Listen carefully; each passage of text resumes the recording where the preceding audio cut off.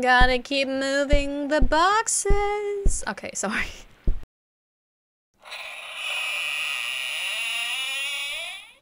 Let's play Peter's House. Hello and welcome to Hula Noob Play Short Indie Horror Games. Today I'm going to play a game by Gzke. G-Z-K-E. How would you, how would you pronounce it? Gzke. Um, anyways, uh, this is a very short game where you just move boxes. Enter the dark and ominous world of Peter's house where you play as Steve. What? I'm not even playing as Peter? Uh, a man hired to move boxes for the new owner. As you explore the house, you quickly realize that something isn't right. Be aware of your surroundings. I will not. I'm always bumping into things, so, well, I'm probably not. Also, I hope my face now looks not as blurry as in my previous videos. Um, I'm still working out the setup, the new one. I love it. Isn't it always great? You move everything. It's like Word, isn't it? Like you move the layout just a little bit and then suddenly everything's gone. All the finicky little details you worked out so you kind of look not like shit. Everything's gone. You have to start again. Oh well. Not your problem. Alright, let's get Peter's house uh, moved in. Steve, phone rings. Hello, this is Steve from Able Movers. How can I help you? Hi Steve, this is Peter. I need help with moving some boxes tonight. Sure, we can definitely help you with that. Can you give me a bit more information about the job? Yeah, I have a few boxes that I need to move on my new house. I'll be out tonight, so the door will be unlocked. That's not Peter. No. okay, I can come over tonight and take care of it. Can you give me your address? Sure. My address is 619 Main Street. Great, I'll take care of everything. Is there anything else you need from us? No, that's all. Thank you so much, Steve. You're welcome, Peter. Have a good night. No contract? Steve, that's not... How, how will you make... You didn't even tell him how much it costs. There's no contractual obligation here on either side. You too, thanks again.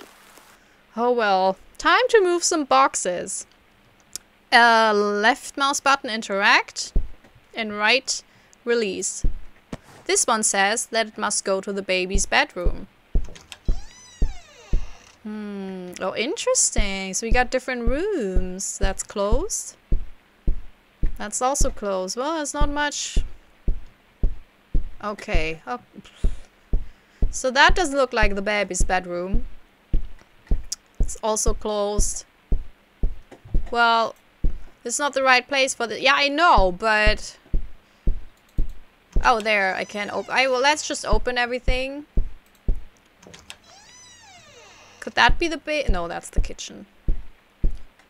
Why did that door open while I had the box in my hands, but the others didn't?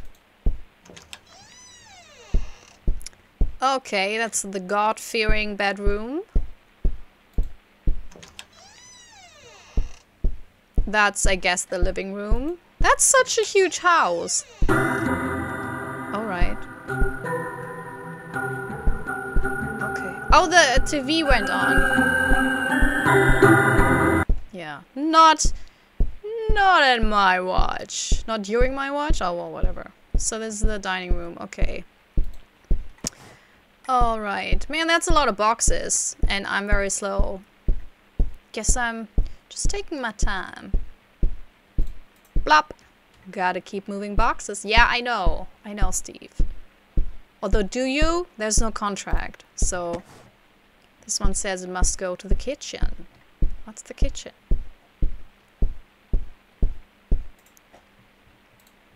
I should probably hurry up with the boxes. I can grab something to drink later. Alright. Aw, I wanted to see what's in the fridge. I would take a look. I would take a little peek. This one doesn't say where to place. Maybe I should open it. Uh, is that blood on the knife? Press S to close the box. Well, I'm very unhappy that I that I opened this.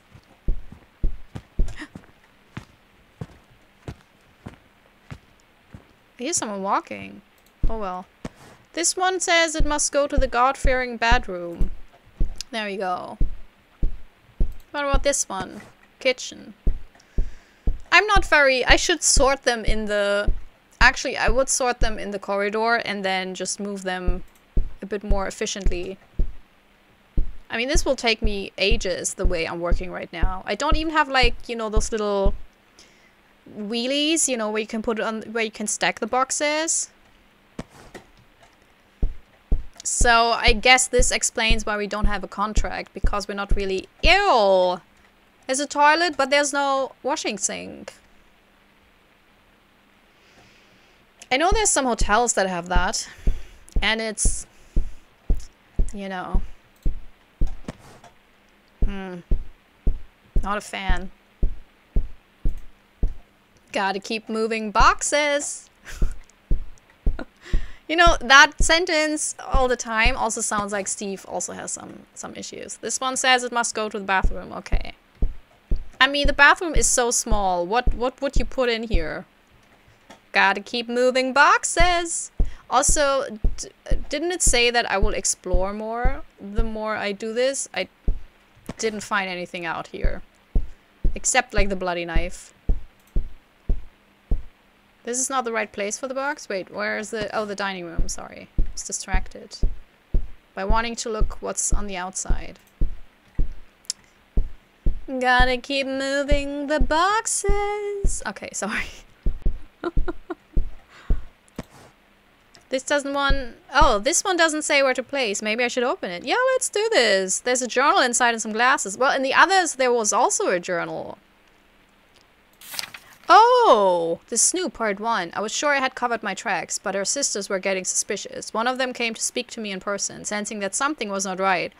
She kept prying and asking too many questions, so I had to take action. I couldn't risk her snooping around, so I had to think fast. I tried to convince her that my wife was away on a trip and wouldn't be back anytime soon, but she was buying it. I'm not reading this in, in Peter's voice, but I guess it's Peter. February 14th of this year! no! The Snoop part too. She started getting too close, asking too many questions. In a moment of frustration, I grabbed a heavy object and struck her over the head. Her glasses fell, flew off her head. She crumbled to the floor, groaning in pain. She lay there, gasping for air, grasping at her throat. I could feel her struggling beneath me as I squeezed the light, life out of her. It was a small victory. Peter! No! Uh, put it, wait, put it there. And then let's put this, so we can also, oh man, the betrayal of a friend. I never should have told my best friend about my wife. It was a moment of carelessness, a slip of the tongue. But what did it matter? He was just another person in my life who didn't understand me, who couldn't comprehend the power that I held. When I asked where she was, I casually replied that she was buried. What? He laughed it off, not realizing that I was dead serious, but I knew I couldn't take any chances. The Betrayal of a Friend Part 2. I excused myself to go to the bathroom, but instead I went to the kitchen and found a sharp knife. It was easy enough to sneak up behind him and plunge it into his bag. He let out a pathetic gasp before crumbling to the floor. Man, lots of crumbling here.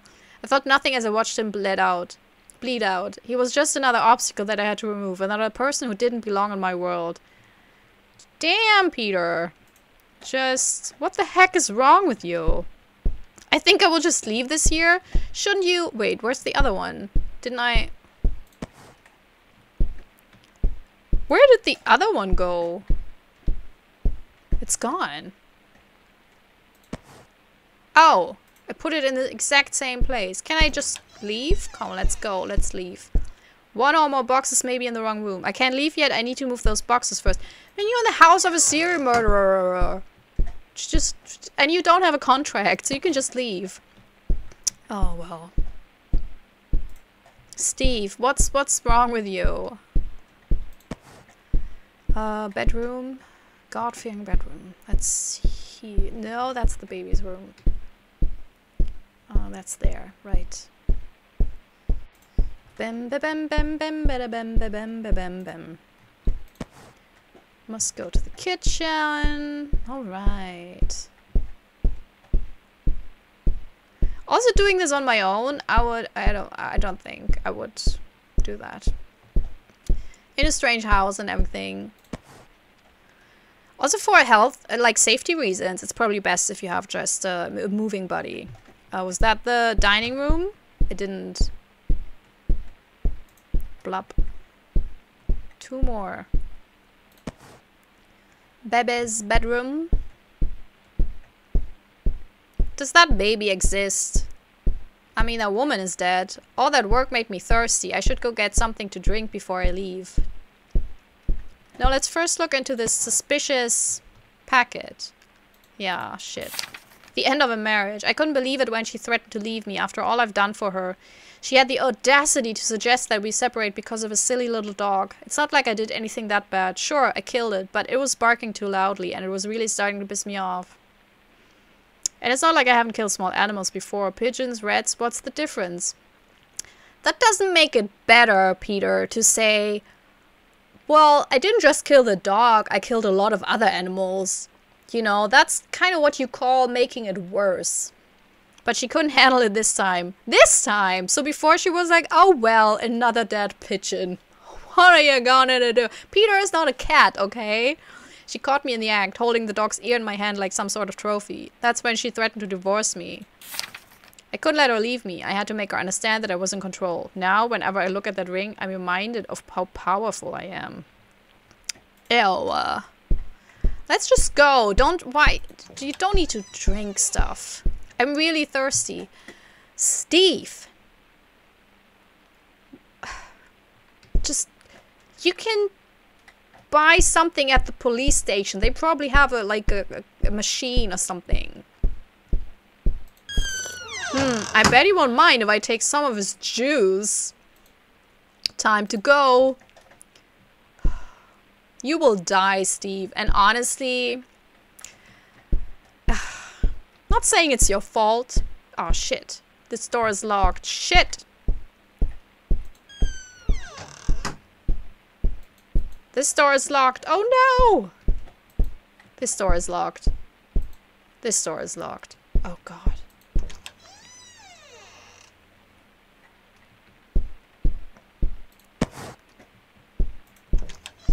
Oh,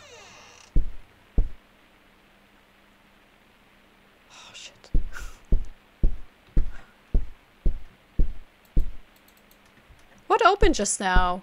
Oh, the door. Wait. Oh no, psychological. Am I Peter? Don't, don't do, don't PT me.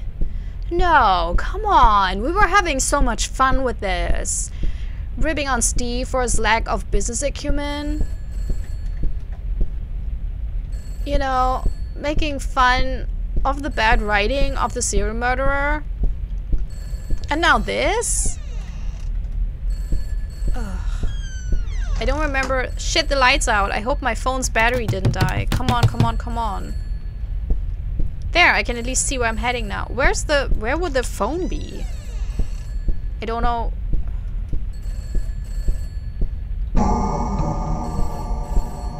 Um Oh, God. I don't have a phone. There wasn't a phone in the flat, right?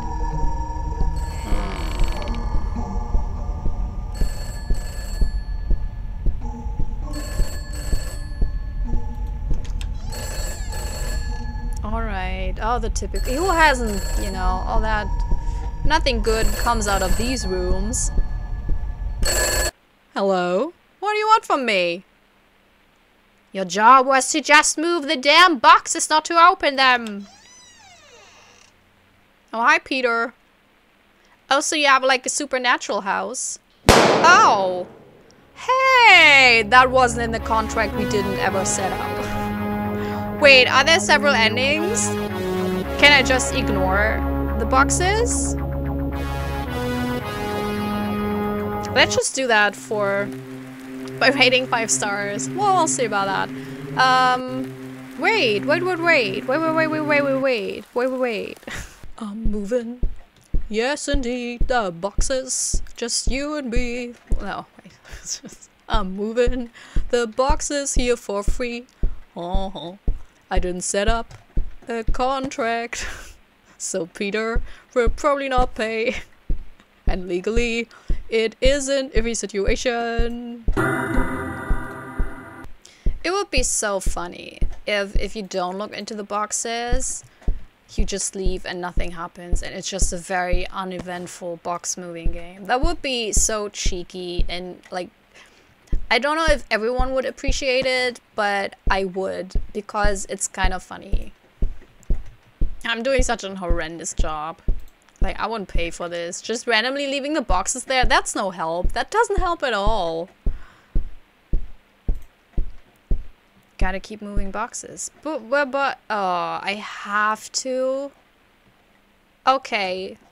Oh man, that would have been so funny. I would have, I would have enjoyed it greatly if we never would have looked into that.